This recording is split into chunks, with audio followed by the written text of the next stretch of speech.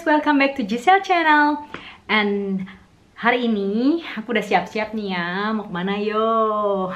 Aku mau ke Zurich Bahnhofstrasse Nah kira-kira mau ngapain? Pastinya mau shopping Oke okay? Aku mau lihat, uh, mau lihat-lihat apa yang aku beli nanti Nah kalian aku ajak Nah aku nggak tahu ya Aku belum bisa promise bisa bikin video atau enggak di sana soalnya kadang-kadang tuh kalau brand-brand yang terkenal gitu kadang-kadang suka nggak nggak mengizinkan kalau di sini dengan alasan privacy dan lain-lain ya. Tapi nanti aku coba aku tanya dulu kalau misalnya nggak bisa nanti aku di rumah review aja ya apa yang aku beli ya. Nah kamu mau tahu keseruan aku mau belanja apa? Coba uh, tebak tebak tebak tebak. Mau beli apa? Mau beli dekorasi atau mau beli um, bantal guling? Belum tahu nih aku ya. Oke okay, uh, eh, ikutin keseruan aku. Nanti uh, aku review apa yang aku beli terus sama kasih tahu kamu ya apa yang uh, produk yang aku beli. Oke okay? cheers bye. See you later. Hai guys aku baru keluar dari Emeso. Nah, aku beli apa ini? Kita review di rumah ya. Oke, okay, dan di dalam kayaknya tadi nggak boleh uh, bikin video, jadi aku review di rumah. Oke, okay? bye. Cheers. Hai guys, welcome to Giselle Channel. Oke okay guys, uh, seneng banget ketemu kamu lagi di video ini. Oh ya, uh, kemarin udah ngikutin aku kan, kita jalan-jalan ke Bahnhofstrasse Nah, uh, aku waktu itu kan mau ngajak kalian untuk beli apa gitu ya. Ternyata pas di sana di tokonya itu nggak bisa making film, making video. Nah, pas nyampe ke rumah udah malam, aku nggak bisa bikin video. Nah, ini tuh the next day-nya. Nah, kemarin tuh sempat beli si ini, si orange. Udah pada tahu ya semuanya kalau misalnya yang orange orange ini pasti like the everybody all the women so love it in the world. Ya? Ya. Oke okay, apa sih yang aku beli? Ini. Ini. Apakah beli yang kemarin lagi? Yang tidak perlu jadi sultan untuk membeli si orange ini. Nah kali ini mungkin slightly little bit uh, more. Mm -hmm. tapi kita lihat aja ya. Oke okay, biasanya kalau di si toko H ini, toko MS ini. Nah, e, kalau dari paperback sebenarnya kalau misalnya kamu kalau mau minta, misalnya dia ada e, dua kategori paperback, ada yang kayak ini yang standarnya, yang setiap orang pasti pengen ya, ini orange soalnya dari jauh tuh udah tahu, ah, lu beli orange nih, beli si MS nih. Nah, kalau yang satu lagi itu yang kayak white itu, white itu plain gitu ya. Mungkin kalau misalnya kamu mau bawa di airport atau apa segala macam, nah biasanya kalau yang putih itu lebih tidak terlalu mencolok ya untuk custom untuk apa gitu ya misalnya. Atau untuk kalau misalnya biar orang tuh nggak kayak apa nggak nggak nggak nyolong atau nggak nyuri gitu gimana gitu ya. Takut dijamret ya teman-teman. Nah oke okay guys. Nah sekarang apa sih yang aku beli di sini? Oke. Okay. dadah dadah hmm masih pelan pelan ya di sini ya. Oke. Okay. oh what is this Happy birthday to you. Yes, part of my birthday gift maybe. ya, oke. Okay, uh, ini tuh biasanya kalau kita beli pasti uh, mostly itu ada boxnya kayak gini ya. Uh, box orange. Uh, terus biasanya dia pasti akan uh, um, apa sih? Pitain. Aduh aku tuh bahasa Indonesia dudut. Nah, sekarang. Nah ini pasti akan dipitain kayak gini. Itu udah pasti uh, ikonnya mereka. Dipitain. Ya nah sekarang kita buka ya sama-sama ya. Uh always be happy tuh bukanya. Oh yeah. Yeah. Oke okay, guys. Ini aku beli. Beli apa yo? Beli Kelly beli Birkin? Enggak enggak kali ini aku nggak beli itu. Nah sekarang itu aku beli si unik ya. Kenapa orang tuh suka banget even the logonya tuh cuma kecil di sini ya tapi harganya yang selangit ya. Oke okay, aku buka. Aku beli apa? Kalau ada dua kayak gini pasti tahu ya. Aku beli shoes alias uh, apa namanya? Uh, sepatu. Nah sepatu apa yang aku beli kali ini. Didididing didididing dididing dididing oke. Aku beli sepatu dan ini namanya moccasin. Moccasin Paris ya. Oke, ini sepatunya guys. Aku mau kasih review sedikit ya sepatu ini ya. Oke. Nah sepatu ini tuh uh, sebenarnya awalnya aku nggak gitu suka karena terlalu maskulin ya. Nah tapi karena ini warnanya putih, terus uh, tadinya aku suka yang pari, uh, yang royal sorry, yang royal tuh kayak ada uh, rumbai-rumbainya di sini itu. Cuman untuk warnanya karena aku suka warna putih yang yang Paris itu yang royal itu aku udah tungguin nggak keluar lagi waktu itu soalnya aku miss nah pas uh, miss udah nggak dapet ukuran aku nah ternyata untuk yang ini tuh kemarin sempat aku tanya dan aku sempat uh, order ke mereka ya. Uh, ada nggak size ini terus mereka cek katanya ada satu tapi kamu masih nunggu. Mau nggak nunggu? Oh iya iya aku mau nunggu. Terus akhirnya aku dapat ini. Nah guys uh, kalau yang putih ini terus uh, kayaknya terus ngelihatnya pas aku cobain itu les maskulin ya kalau misalnya aku uh, kalau boleh aku uh, bilang nah les maskulin nah terus ininya juga ada bakalnya tuh rose gold edge-nya itu rose gold itu kayaknya cantik gitu ya guys ya Oke, okay, favorite color aku tuh sebenarnya kayak putih, black yang bener-bener boring banget ya, yang kayak dark dark color gitu. Untuk pakaian juga biasanya gitu. Hanya beberapa pakaian yang aku kemarin-kemarin itu sempet coba mencoba untuk beli yang bright bright color gitu. Cuman akhirnya kadang-kadang tuh kalau uh, next time-nya lagi aku balik, pasti balik lagi ke yang hitam putih hitam putih. Nah kalau untuk sepatu nggak tahu kenapa ya kalau hitam tuh elegan kalau putih itu kayaknya bisa dipakai untuk hari-harian kita gitu loh ya nah kalau yang ini tuh aku suka banget nah oke okay, kita mulai nah si putih ini aku taruh di meja soalnya ini bersih banget ya guys ini tuh cuman aku yang aku yang nyobain karena ini tuh aku order nah tidak ada di store mereka ini tuh cuma buat aku doang jadi yang nyobain aku kaki pertama ya Nah, kaki aku tuh kecil, cuman size 36 setengah ya. 36 setengah. Jadi kalau misalnya yang ini aku suka karena kadang-kadang si MS ini misalnya ngeluarin satu color, misalnya black color, tapi dia tuh ntar uh, the next editionnya dia pasti ganti, either ganti ininya.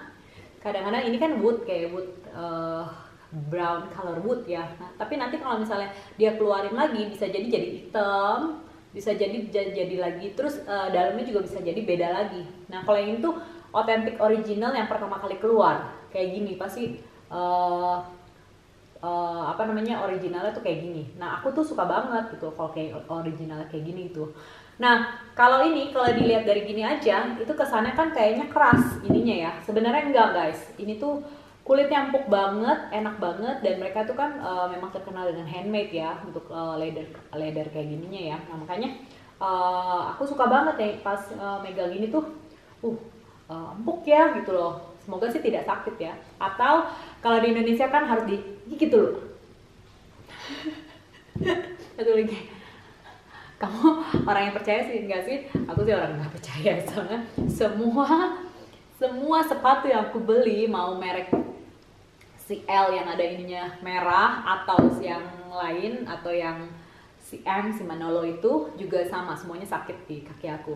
Nah kadang-kadang malahan ada yang uh, sepatu yang uh, labelnya biasa aja malahan kadang-kadang nggak sakit gitu itu tergantung ya kadang-kadang tergantung mungkin sheetnya cara bikinnya atau gimana gitu ya nah oke okay, pertama ini tuh kalau yang khusus yang ini biasanya sih banyak kan kalau yang sepatu si moccasin ini banyak kan tuh label H-nya ini itu warnanya silver. Nah kalau yang ini tuh rose gold sendiri atau yang lainnya kadang-kadang gold tapi goldnya gold kuning. Nah ini tuh rose gold. Ini tuh cantik banget. Nah jadi hanya ini masih ada plastiknya. Kamu tinggal peel off aja. Ininya ya bisa peel off ya. Nah uh, untuk sole-nya kayak gini. Ini uh, mau kesin mau kesin gitu ya. Nah kalau belakangnya itu ada mereknya dia dan ditulis made in Italy. Gini ya. Oke ini sepatunya tuh biasa aja sih guys kayak gini. Cuman kalau misalnya kamu lihat kalau kamu keluarin. Oke. Nah ini itu dalamnya tuh empuk banget dan heelnya nggak terlalu tinggi dan ini tuh bagus soalnya ya jadi nggak tuk tuk tuk tuk tuk tuk gitu loh. Karena dia pakein uh, apa namanya karet solnya di sini tuh. Jadi nggak usah dak tuk dak tuk berisik banget gitu lah. Nah uh, jadi leathernya tuh dari start dari up, uh, dari dal eh, dari luar semuanya leather sampai ke dalam-dalam. Semuanya full leather ya. Full leather kemudian uh, cuman ininya doang metal. Nah belownya itu kayak kayu ya semuanya soalnya itu ya. Ini cool banget ini. Ini buat dipakai untuk traveling untuk sehari-hari. Uh, yang pastinya musim musim panas sampai kayak musim slightly dingin kayak misalnya autumn autumn sekarang kalau misalnya indoor masih rekomend tapi kalau outdoor nggak gitu rekomend pakainya basah-basah gitu ya guysnya nah oke okay, sele selebihnya biasanya ada oh ya nah itu biasanya mereka kasih ini apa invoice-nya gitu. Nah kita lihat ya ini itu uh, namanya Mokasin Paris.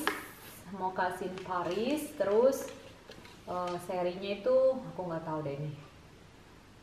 Hmm, cuma ada kodenya doang paling uh, sama colornya blanc blanc itu kalau di bahasa Prancis ya kayaknya. Atau ya kayaknya uh, itu namanya putih ya. Nah untuk harga harganya itu uh, sepertinya kalian juga bisa ngecek sendiri harganya berapa. Nah kalau untuk di Swiss itu ini harganya adalah 1000 Swiss franc. Jadi kalau misalnya di Indonesia in mungkin kali sekitar 16 ribu ya kayaknya. Kalau nggak salah sekarang jadinya sekitar 16 juta ya. Oke okay, nah uh, bukan untuk pamer kadang-kadang tuh ini tuh kayaknya bisa apa awet gitu loh. Makanya jadi aku suka gitu. Kalau misalnya uh, pakai sepatu si Kuaran R si M ini gitu loh. Tapi sebenarnya ya apa aja juga aku suka karena yang penting nyaman dan enak terus dan bisa long lasting gitu ya. Kalau misalnya uh, kamu suka juga kamu bisa cobain ini nah kalau misalnya ini tuh kayak kayak nggak terlalu tinggi nggak terlalu capek. Nah kalau misalnya aku kan kalau misalnya jalan sama misalnya anak aku jadi kalau misalnya mau lari-lari atau macam nggak masalah gitu. Terus uh, cutting di depannya ini nggak terlalu sempit jadinya tidak terlalu uh, kayak yang kalau elegant shoes kan itu uh, high heel gitu ininya pasti sempit kan. Nah itu pasti uh, apa jari-jari uh, kita itu kayaknya kadang-kadang terjepit kayak gini gitu loh. Cuman kalau aku memang suka dari dulu memang aku suka high heel,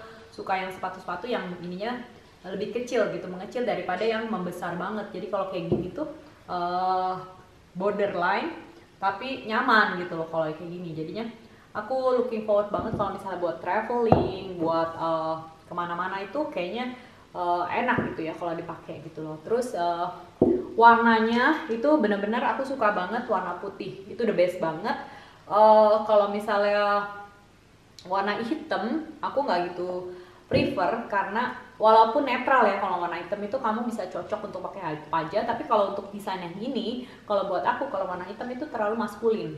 Jadi ke kesannya tuh kayak cowok yang pakai gitu loh. Kalau misalnya putih ini apalagi ininya tuh rose gold jadi tidak terkenal tidak terkesan maskulin gitu loh. Jadinya makanya kenapa aku uh, beli ini gitu loh. Karena kalau untuk sepatu-sepatu ya aku juga su suka sepatu espadrille yang kayak uh, agak-agak relax gitu ya. Cuman kalau misalnya kalau boleh memilih ya tetap uh, leather gitu ya. Karena aku punya juga espad espadrille yang buat relax itu tapi tetap dengan leather gitu lebih enak. Karena kalau pakai yang hmm, kanvas kanvas gitu kadang-kadang tuh kalau misalnya basah, kotor segala macam itu susah banget gitu loh. Kalau ini tuh kadang-kadang kalau kita mau jaga bisa kita lap ya, bisa kita uh, sebenarnya kalau aku tuh perawatannya gimana sih gitu loh. Kalau ini sebenarnya aku nggak terlalu rajin orangnya gitu loh. Jadi makanya kalau sepatu uh, nggak terlalu yang gimana gimana gitu kalau tas mungkin aku lebih ngerawat tas nah kalau sepatu itu paling kalau yang putih kayak gini memang kadang-kadang aku aku lap tapi kalau misalnya udah lama-lama itu udah malas juga ya udah aku biarin aja gitu loh kalau misalnya udah rusak ya sudah. Karena kalau misalnya sepatu kalau misalnya rusak kamu betulin kadang-kadang sudah nggak enak. Terus soalnya gini kalau misalnya untuk di Indonesia masih bisa. Tapi kalau untuk di luar negeri kayak gini itu jadi lebih lebih dingin lebih segala macam gitu. Jadi nggak nggak udah nggak rapet gitu. Soalnya udah nggak enak dipakainya. Jadi ya nggak uh, gitu rekomend untuk di dibetulin gitu ya. Tapi kalau misalnya yang high brand kayak gini mungkin aku belum pernah tanya uh, tokonya kalau misalnya untuk di dibetulin itu gimana gitu ya. Tapi ya kalau misalnya kita lihat dulu ya kalau misalnya masih layak uh, bisa dibetulin. Kalau enggak ya udah nggak bisa gitu. Karena aku pernah beli satu merek yaitu si Salvatore itu. Aduh harusnya nggak boleh nyebutin ya. Ya uh, jadi cuman beli cuma tiga bulan sempat rusak gitu loh sepatunya. Nah terus aku uh, tanya aja gitu ke mereka gitu lah ya, ya komplain tapi ya aku sebenarnya nanya. Terus mereka karena good service dan mereka bisa bilang katanya uh, kamu mau pilih yang lain atau kamu mau return? Terus karena waktu itu aku pikir ah e, karena aku belinya di luar negeri terus aku bilang aku return aja deh. Dan dan mereka itu very professional. Mereka uh, kirim uh, kurir mereka ke rumah aku untuk jemput itu sepatu karena aku nggak mau ngeluarin lagi uang ya karena dari Swiss ke kirim ke mana itu uh, lebih mahal ongkosnya kan. Karena dari Swiss itu uh, semuanya lebih mahal daripada di Eropa European Union gitu loh. Jadi kalau untuk kirim pos kurir, kirim kurir itu semuanya mahal. Makanya terus tapi kalau high end brand ini makanya lebih enaknya tuh mereka servisnya lebih bagus kadang-kadang ya. Tapi kadang-kadang ya tergantung juga ya kalau misalnya kamu ke toko gitu kan kalau misalnya moodnya lagi mereka lagi nggak bagus ya mereka servisnya juga kadang-kadang suka yang tidak bagus ya. Apalagi di toko orange ini kadang-kadang tuh ada orang yang nggak suka. Kenapa ya? Kita punya uang tapi kayak tidak dihargai. Karena mereka suka uh, harus tahu sistematika mereka gitu gimana caranya untuk bisa berbelanja di toko mereka. Jadinya perlu ilmunya gitu ya. Jadi uh, agak ribet sih kalau misalnya di toko yang ini gitu ya. Kalau di toko yang lain semua dilayani dengan sama gitu loh. Siapa pun mau beli mau apa semua dilayani dengan sama. Tapi kalau di toko yang ini hmm, agak complicated guys. Dan kayaknya kamu udah ada tahu ya sudah banyak video-video yang lain juga yang menceritakan bagaimana susahnya untuk mendapatkan si uh, yang tas yang itu dan tas yang ini. Oke okay guys, kayaknya untuk video yang kali ini aku uh, shoppingnya sekian aja. Uh, tetap ingat guys, uh, yang namanya shopping harus mengukur dengan kemampuan kita sendiri. Kalau misalnya nggak dibutuhkan, uh, jangan dilakukan. Ini hanya untuk share aja. Kalau misalnya uh, kalian ada sedikit berkat atau sedikit uh, rezeki, kalau kalian mau, menyenangkan diri sendiri why not? Kalau misalnya uh, tidak ada atau tidak mencukupi jangan dipaksakan ya apalagi sampai ngutang-ngutang. Tidak boleh. Tidak tidak banget deh guys ya. Oke okay, guys thank you for watching and then see you in my next video. Jangan lupa subscribe comment and like oke? Okay? bye bye I love you